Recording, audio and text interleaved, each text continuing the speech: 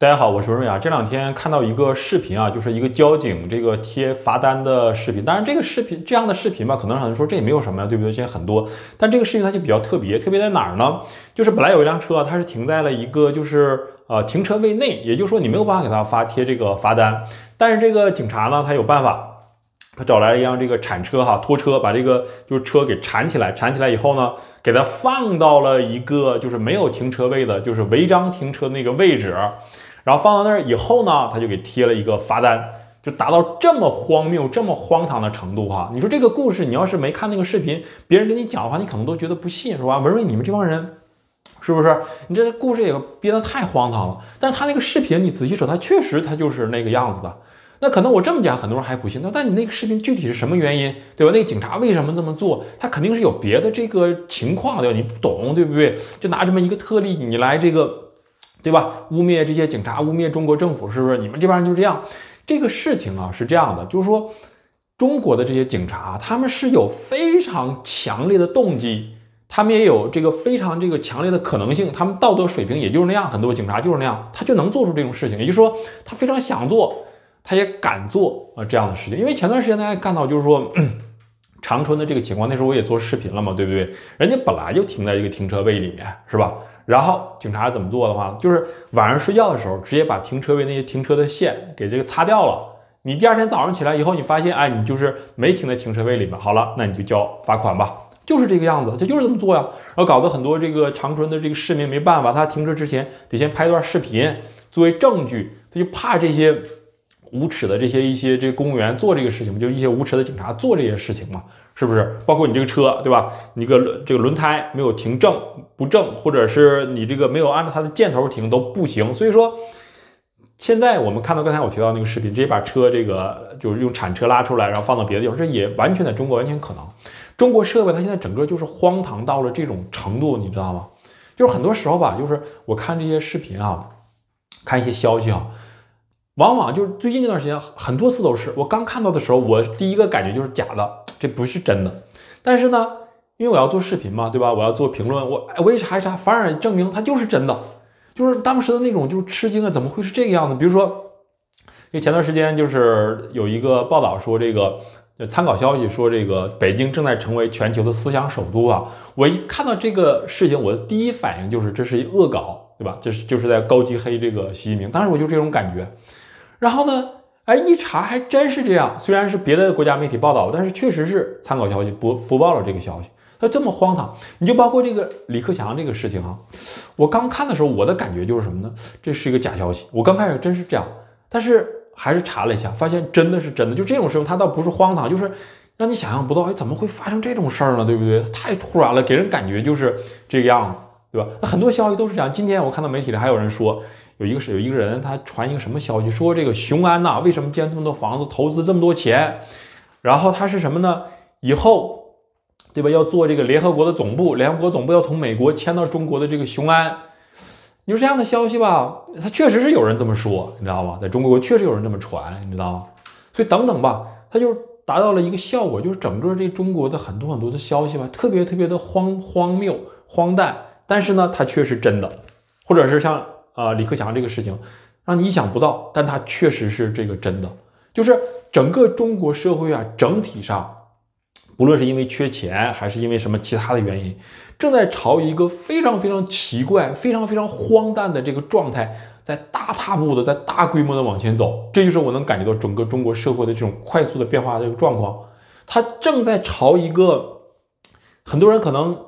主动被动的可能就会去想一个问题，中正在朝一个最终的这个节点在往往下走，大家都在等待这一个时间点。可能很多人他没有明确的意识，但他也是在等待。很多人等待这个房地产可能要崩溃，很多人等待这个人民币汇率要大规大规模的这个贬值，对吧？很多人可能等待这个习近平下台，很多人可能在等待这个就是说共产党解体，对不对？大家都在觉得中国这个社会好像要发生一个巨大的这个变化，甚至包括那些小粉红，包括那些。所以大家关心，他们可能都感觉到了，目前这个局势啊，非常的这个复杂，大家都在等待这样的一个情况。那么在这种情况之下呢，大家就觉得好像就好像没有什么力量或者没有什么信心想再去做点什么，很多人选择是躺平啊、摆烂呐，对不对？这样的情况就非常多，甚至到包括这个政府这个机构哈。今天吧看到一个视频嘛，就是挺有感触的。这个视频是什么呢？就是汝州市的妇幼保健院哈，就拖欠医生工资一年多这么一个消息。当然，这个现在拖欠工资的信息很多，但这个并不是我强强调的这个重点。然后呢，就是有这个媒体啊，就给这个卫健委打电话啊，可能这个这个妇幼保健院吧，它是它的主管单位是卫健委，就给这卫健委打电话，然后就了解这个情况啊。一般来讲吧，就是像卫健委以前，他肯定都是直接把电话挂了，或者说啊，你们不要就是这个造谣传谣，对不对？你们不要这样，对不对？不要破坏这个安定团结，他肯定是这样，对不对？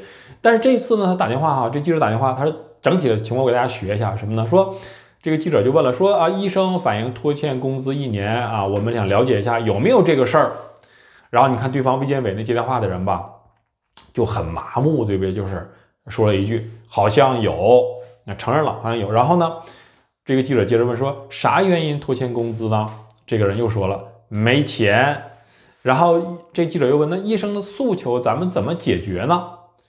不知道。哎，这个人卫健委就说不知道。对吧？你看他整个这个回答的状态，给我的感觉哈，就这个人吧，他已经很麻木了，对吧？而且他对于他虽然在体制内工作，他对这个体制已经相当相当的不满了，嗯，他也是没办法，为了混口饭吃，不得不在这工作。但是他也有很多委屈，甚至他自己可能工资都没有开出来，可能是这样的一个情况。那你记者打过来问了，对不对？那我就这么说了，对不对？我也不去说还维护你们党的尊严呐，对吧？体制的面子啊，对习近平的面子不管了，对不对？啊，我就这样啊，对不对？没钱，不知道，对你们爱爱怎么地怎么地，就给人这种感觉。就他的这种状况吧，不是说这一个人的状况，体制内很多都是这个样子。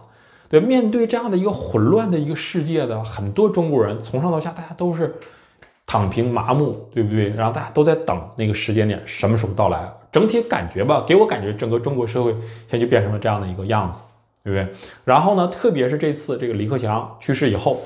他整个的这种倾向呢，就更加更加的这个严重了。大家都在等，对这个社会，对吧？然后呢，而且大家都在看，对吧？习近平你不厉害吗？对不对？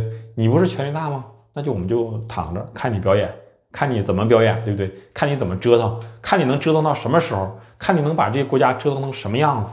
很多人都是现在目前都是这个心态，老百姓是这样，民营企业家是这样，体制内的很多官员也都是这样。